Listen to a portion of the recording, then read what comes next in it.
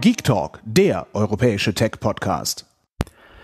Einen wunderschönen guten Morgen und herzlich willkommen an diesem Mittwoch, dem 14. Oktober 2020.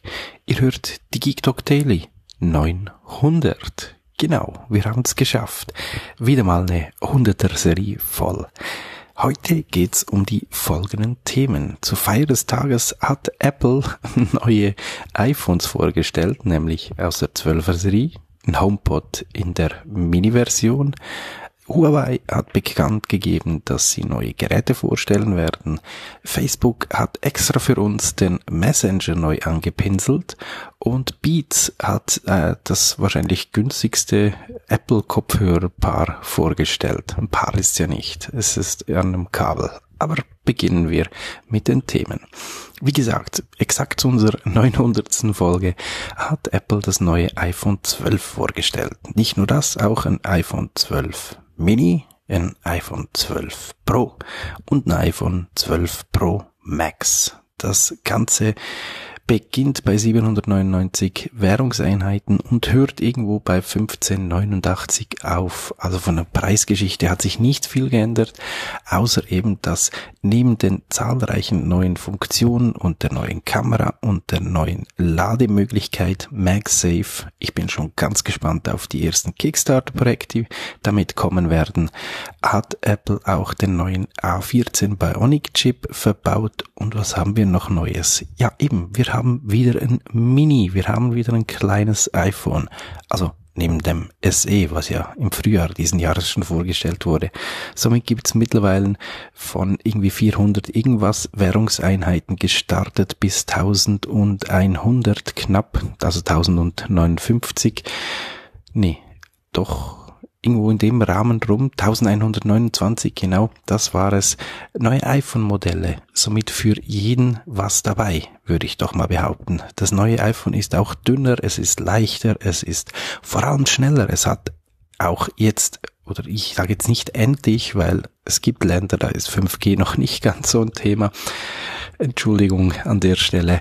Aber eben, es hat jetzt auch 5G Intus, schnelles Netz, latenzfreies Netz. Wer sich die Keynote nicht angeschaut hat gestern, kann das tun. Link wie immer in den Show Notes mit drin auf daily.geektalk oder eben im Podcatcher eures Vertrauens.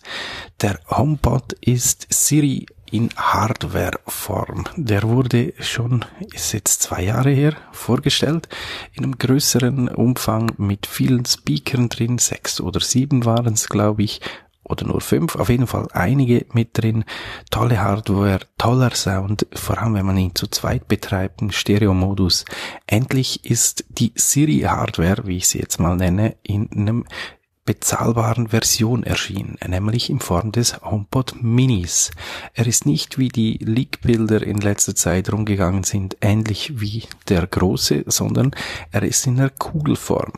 Schaut schick aus, vor allem wenn man es im Bewegbild anschaut, also wenn man ihn richtig im Einsatz sieht, hat ein paar coole Features, Smart Home Geschichten, wie eben ähm, Message an alle, finde ich extrem geniale Geschichte.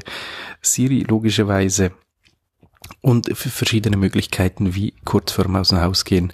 Wo ist dann mein liebes iPhone? Ähm, sag mir das doch mal und solche Geschichten.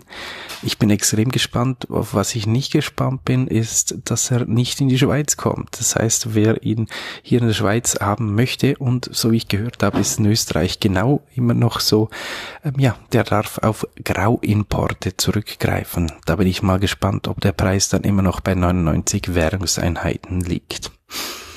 Herr Zuckerberg möchte uns auch zu der 900 Folge vom Geek Talk Daily gratulieren und das tut er im Voll, indem dass er dem Messenger eine neue Optik verpasst. Nicht nur dem Messenger selber neue bunte Farben, sondern auch das Logo und somit auch der Hinweis, dass das Ganze immer mehr verschmilzt, nämlich der Facebook Messenger und Instagram DM, die kommen da immer mehr zusammen. Ich freue mich, wenn da auch WhatsApp noch mit reinschmilzt und dann alles weg ist. Zu guter Letzt hat Apple auch noch fast leise. Ein anderes Update rausgehauen. Die günstigsten Beats Kopfhörer sind raus und die heißen Beat Flex. Die verfügen auch über den H1-Chip, also somit sind sie mit Apple-Geräten einfacher kompatibel und haben da die ganzen Vorteile, was es so gibt. Aber sie sind auch für die Android-Welt gebaut, denn es gibt eine App auf Android, womit man dann schlussendlich auch Firmware-Updates etc. alles einspielen kann. Spannend, spannend, USB-C ist mit dabei und beim Bestellen wird nur knapp 50 Währungseinheiten fällig. Das ist natürlich auch mal was Spannendes. Und zu guter Letzt, weil ähm, ja die Sendung jetzt schon fast durch ist, noch einen kleinen Hinweis auf dem pogipsi.ca Blog habe ich darüber berichtet, wie ich bei meinen Eltern, also im Elternhaus, wo ich aufgewachsen bin, mein, das Netzwerk meiner Eltern abgegradet habe, nämlich mit dem Fritz Mesh Set und wie das gegangen ist, was es gebracht hat etc., das könnt ihr wie gesagt nachlesen. In diesem Sinne vielen Dank euch immer wieder fürs Zuhören, fürs Runterladen der Folgen, für euer Feedback und noch viel mehr für die ganzen Tippgeber. Wir haben so viele Zuhörer, die uns immer wieder durch den Tag hindurch Tipps zu neuen News etc. geben. Das ist toll. Sowas lieben wir und mögen wir und wir freuen uns auf die nächsten 100, denn dann haben wir ja dann unsere 1000 voll, die wir mal angestrebt haben.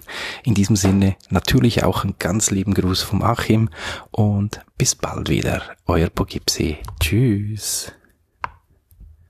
Hört mehr Geek Talk.